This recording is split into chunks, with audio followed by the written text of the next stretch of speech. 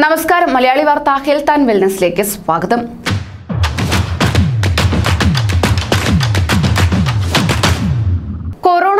Corona പ്രതിരോധത്തിൽ കൂടുതൽ ആശങ്ക സൃഷ്ടിച്ചുകൊണ്ട് കൊറോണ വൈറസിന്റെ ജനിതക വകഭേദങ്ങളുടെ എണ്ണം വർദ്ധിക്കുന്നതായി റിപ്പോർട്ട്.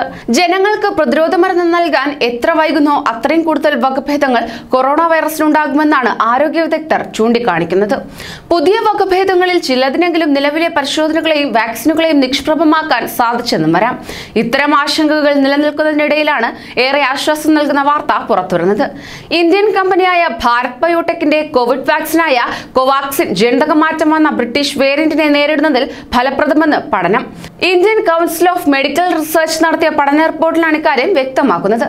ബ്രിട്ടനിൽ പടരുന്ന ജനിതകമാറ്റം വന്ന അതിതീവ്ര വൈറസ് ബാധിച്ചവരിൽ കോവാക്സിൻ നൽകിയ ശേഷം നടത്തിയ പഠനത്തിലാണ് ഇക്കാര്യം വ്യക്തമായതെന്ന് റിപ്പോർട്ട് ചൂണ്ടിക്കാണിക്കുന്നു പുതിയ വൈറസ് വകഭേദത്തെയും കോവാക്സിൻ നിർവീര്യമാക്കുന്നുവെന്ന് തെളിഞ്ഞതായാണ് ഐ സി എം ആർ വ്യക്തമാക്കുന്നത്. അതോടൊപ്പം തന്നെ ഭാരത് ബയോടെക്കും ഐ സി എം ആറും നാഷണൽ വൈറോളജി ഇൻസ്റ്റിറ്റ്യൂട്ടും സംയുക്തമായാണ് കോവാക്സിൻ നിർമ്മിച്ചത്. മറ്റു വാക്സിനുകളെ അപേക്ഷിച്ച് മ്യൂട്ടേഷൻ സംഭവിച്ച വൈറസിനെ നേരിടാൻ കോവാക്സിൻ ഫലപ്രദമാണെന്ന് തെളിഞ്ഞതായി I C M R director doctor Balram Bhargava പറഞ്ഞു.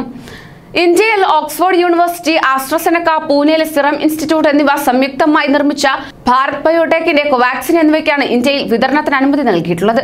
എന്നാൽ ക്ലിനിക്കൽ ട്രയൽ പൂർത്തിയാകാത്തതിനാൽ കേരളമടക്കം മിക്ക സംസ്ഥാനങ്ങൾ കോവാക്സിൻ ഉപയോഗിക്കുന്നില്ല. കൂടുതൽ വാർത്തകൾക്കായി ഈ ചാനൽ സബ്സ്ക്രൈബ് ചെയ്യൂ.